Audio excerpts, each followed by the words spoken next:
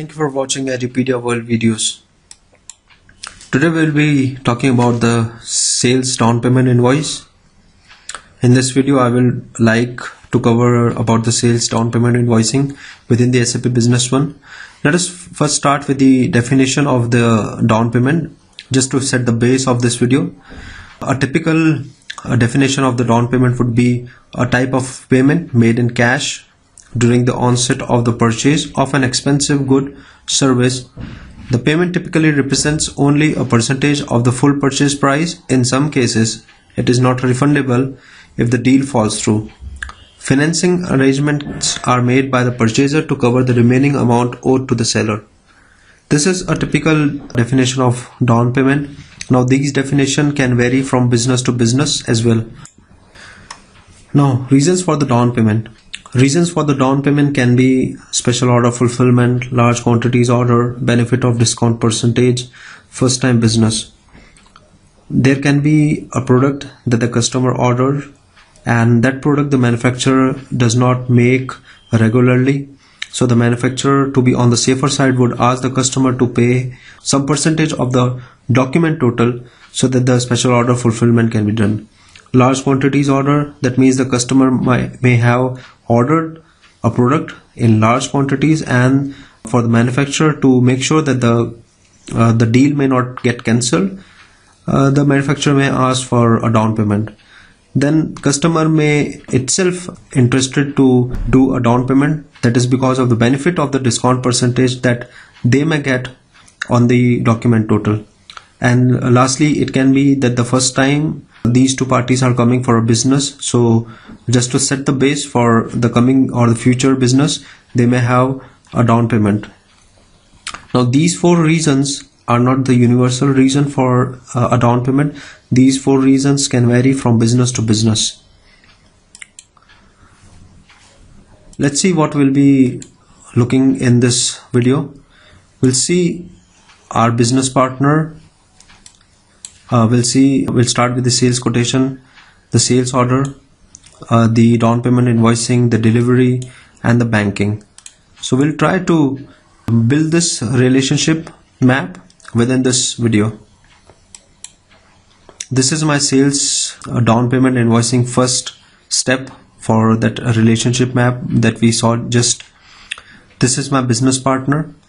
Here you can see that there are some bar bar graphs. What I can do I can simply click on any of these and what it the, what the system will do will open a, a report like this. So this is the sales analysis report by the customer. These reports we will study in detail in the coming sessions. Sales quotation. This is my sales quotation. You can see that the origin is blanket agreement 2 you can see all the line items have been copied from the blanket agreement to their quantities, their unit price, discounts or the tax code and other things as well. Now, one may question that why there are two discount percentages. It is very simple that this discount percentage, what you will mention here, will be applicable to only the first line item and this discount percentage will be applicable to the whole uh, or the document total here so uh, depending on the business to uh, business scenarios uh, one may put a discount percentage on the line item as well or, or only on the on the document total. I have copied that sales quotation to sales order. You can see based on the sales quotation 362 we can see.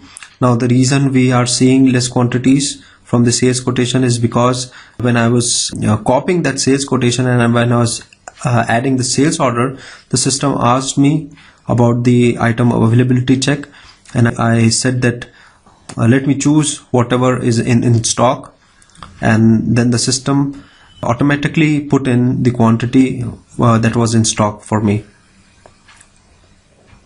The amount of the deal is very high so the manufacturer would like to have a down payment from the customer and uh, my down payment percentage is 30 that I have mentioned here.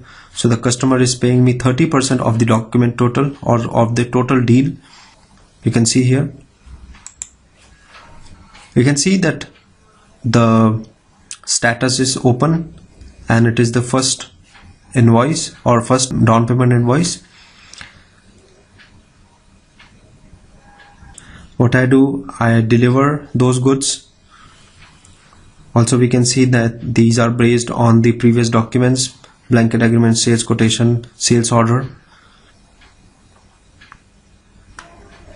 Now you can see that this is my this is again the sales down payment invoice and this is the second number of the document and the status is closed. This is the full payment of the deal. We have built our relationship map we have gone through sales quotation sales order two down payment invoices delivery and incoming payments now there can be only a single down payment invoice and directly an AR invoice delivery incoming payments. Thank you.